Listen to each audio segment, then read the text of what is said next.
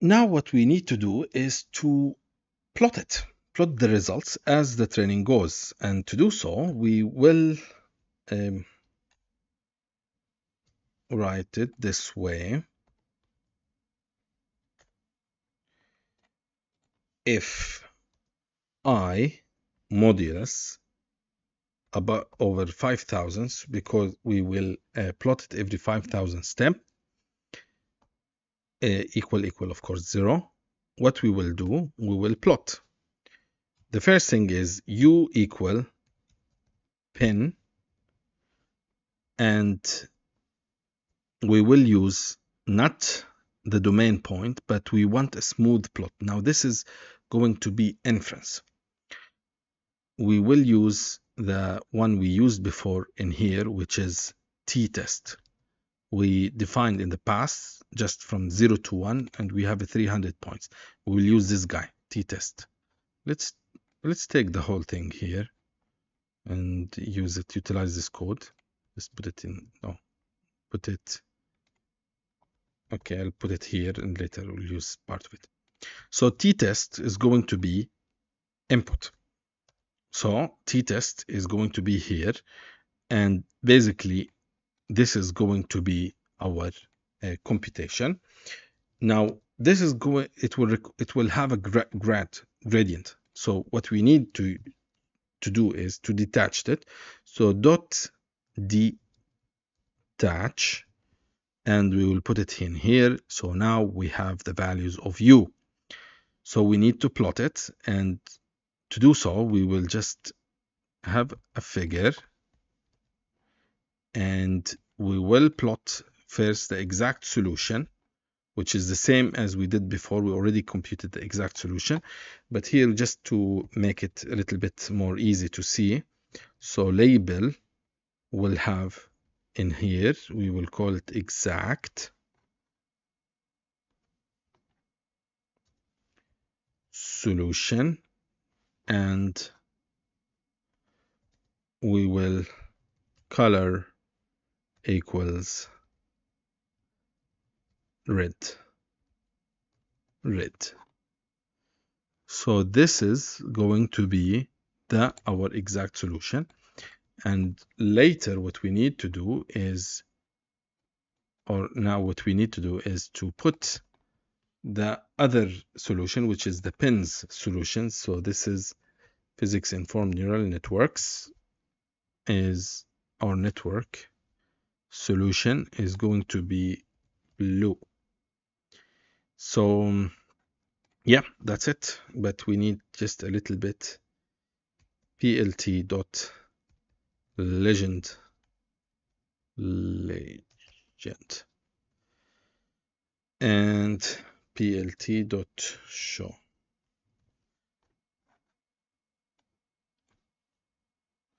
So what's going to happen here, every 5,000 steps, we are going to basically plot everything. If you want to see the losses, you can just simply put it in here as well. Print every 5,000, just print the losses and then continue. And shift enter and we wait a little bit. Now this just these things to avoid confusion or as it trains we will just remove these things. These are just trying to show or to explain something. I don't want to include it here. I will just put it as like just remove it.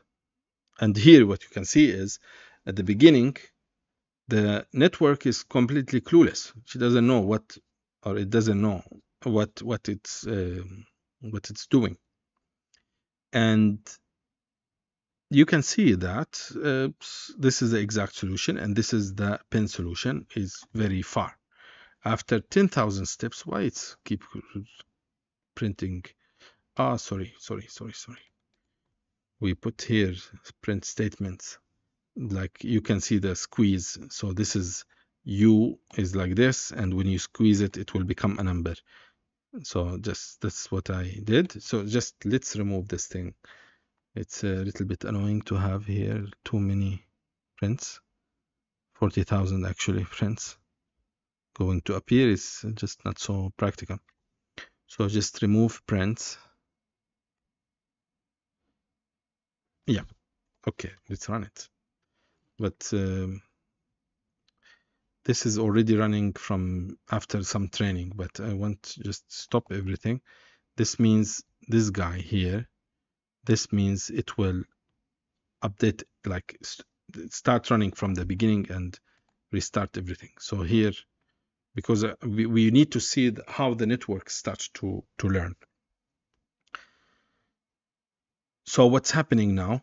Starting as we said it's clueless doesn't know much and you can see that starting the training optimizer grade, uh, grid equals zero.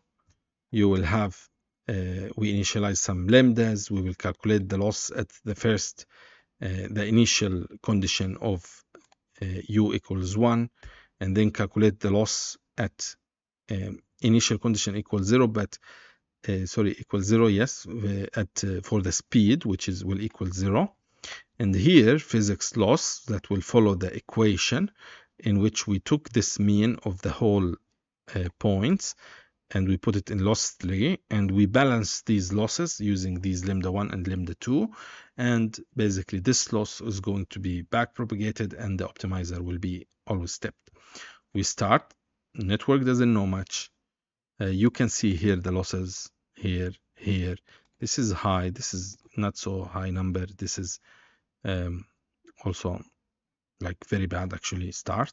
And then after like one only 5000 steps you will have this. The loss goes down. You can see the network a little bit different but not so much.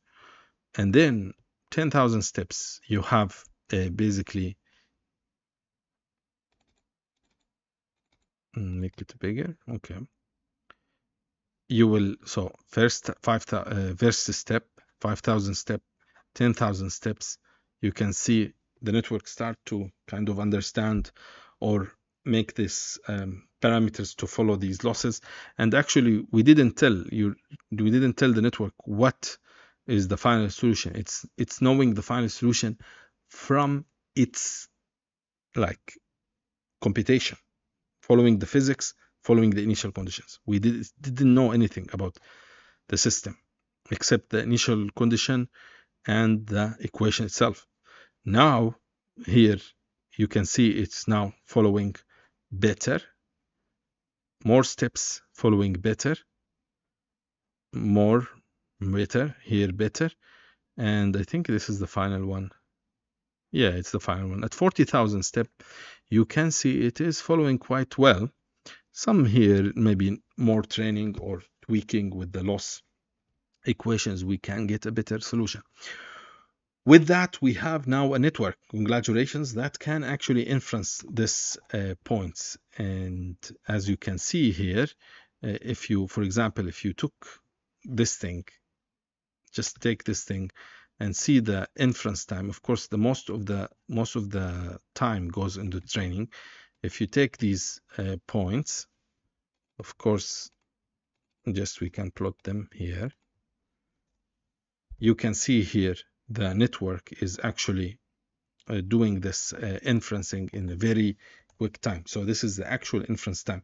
So inferencing will, which getting the results from the network is quite fast because we'll take this uh, number, the t-test, these uh, uh, array, we pass it into pen and we will get the number of u very quickly. The training process took time. But if we have a trained network, that means it can solve the uh, problem in a very quick time. And of course, if we want that, we need a network that uh, that that is kind of um, trained on multiple um, initial condition, boundary, uh, or initial in this case, initial condition, and different, let's say, parameters of this uh, system. And if the network is trained well on many conditions, it will provide us the, name, the number we need in a very quick manner.